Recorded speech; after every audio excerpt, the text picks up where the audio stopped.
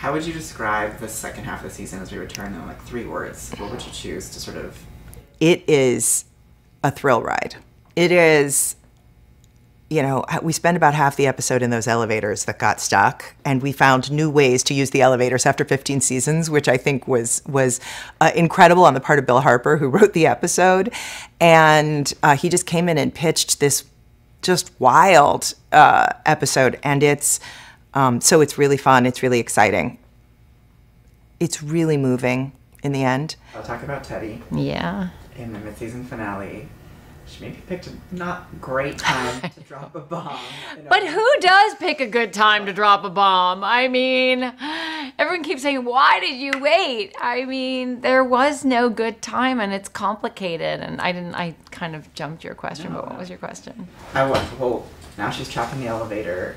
She's trapped in this love triangle of sorts. What is the road ahead for these three? And what can you tease about that?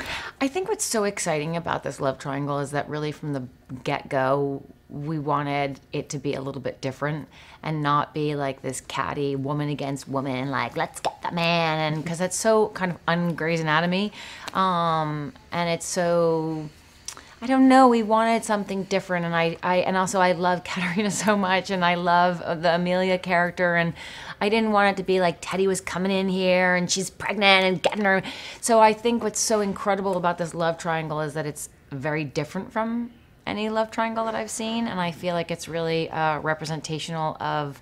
Uh, our modern world and the way their families are kind of coming together. And so while it has all the excitement and kind of like insanity of a love triangle, we're kind of speaking a different language and trying trying something different, um, which is really exciting to me. And you know, and we're adding another element into it, which I'm not going to give away, but it's really cool. And you, you know, um, it just adds even more complications to it.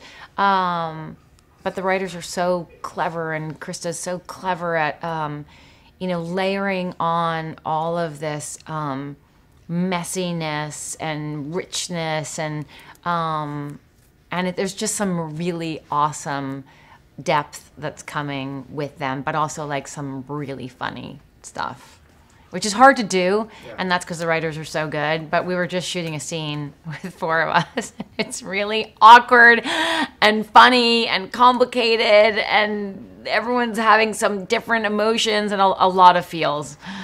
Quintessential Grey's quintessential Grey's. Tell me what is in store for this love triangle, this little modern family. What is what's happening? It's it's changing every day. We don't know. It's messy. It's messy. It's really messy. Yeah, matters of the heart and the womb. like it was messy before, but now there's. It's really messy. It's now. super messy. Yeah, it's like it's grown arms and legs. It's like yeah, there's it's become teenagers, this, babies. Teenagers. And, yeah, it's it's it's cool because we don't know where it's going. Yeah. You know, and it's going to create a lot of challenges. I think for Owen and Amelia. It's yeah. kind of. Um, There's so many people involved at this point. Yeah. We're, and they've only just like they're really in a good place. It's kind of heartbreaking right. that they're in such a good place, yeah. and it's like this kind of atomic bomb is going to hit them. All of these hits. And I don't, I don't, I hope they survive, but who knows? You know.